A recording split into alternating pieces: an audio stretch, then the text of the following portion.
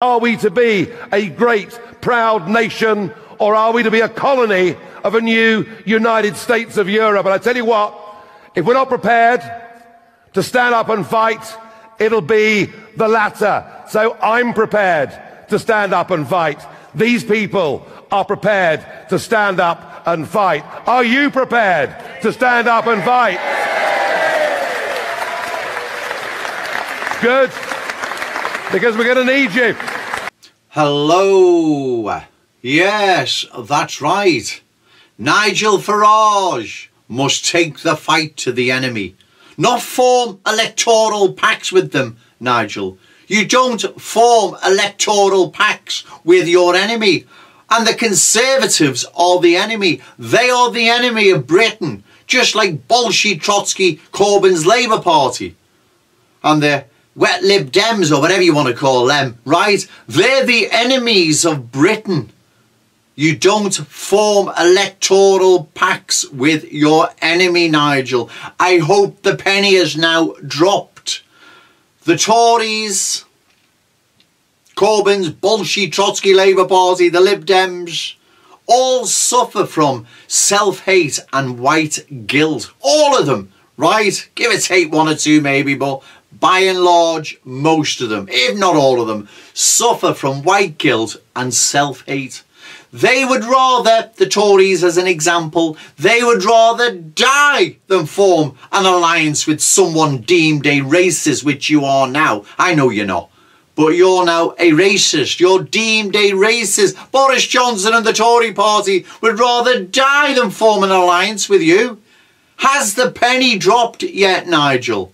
But all the same, all the same, you're in for a fight of your political career now, and you know you are, right? Hope not hate hasn't started on the Brexit party yet, so get ready for that, right? That's going to be interesting. But anyway, you've just watched a short 30 second speech of Nigel Farage. I think it's in Newport today, is it? Correct me if I'm wrong. And it really is inspiring. Good on you, Nigel. You're a patriot. You love your country. You're not in this for ego or money or self. You're in it because you love Britain. You love your country, right? It's a pity certain British nationalists weren't doing the same, but that's another video in itself. Uh, you talk about, you know, uh, fighting to stop Britain becoming a colony of the United States of Europe. We've got to fight and we've got to fight on our hands. And you're right. You're right, Nigel. You're spot on. You're a good man, right? But what you've got to do, Nigel, you've got to take this fight alone. When I say alone, you and the Brexit Party and the good people around you, you've got to take it to the Tories. They are treacherous swines, Nigel. Like I pointed out yesterday, selling out white Rhodesia, turning their back on white South Africa. And I see them two clowns, Prince Harry and Meghan Markle, uh, visiting uh, South Africa and they're going to address uh, gender violence against women what about the thousands of white uh, African farmers, men, women and children that have been murdered since the ANC took power? How about addressing South Africa now is not only a basket case, it's the child rape capital of the world, right? It's falling apart. I hope you, Midge Ure, Annie Lennox, Bono and all the rest of you lot, I hope you're happy with what you have achieved. You're responsible for mass murder, black and white. That's what you're responsible for. And you, Harry, you're just a joke. Once the Queen dies, God bless her, that's the end of the royal family. Forget it. See what the royal family are trying to do now. They're embracing the trash culture to be liked and to survive, but that's going to be their actual downfall. But that's another video in itself. You've got to take the fight to the enemy now, which is the Conservative Party, Nigel right? You have to take the fight to them now. You have to go this alone. And you know what? You've said about uh, if the Tories don't form some electoral pact with the Brexit Party and the uh, Trotsky, Bolshevik, Corbyn's Labour Party and the Tories have only got themselves to blame. You know, to be honest, we could do with Jeremy Corbyn in power.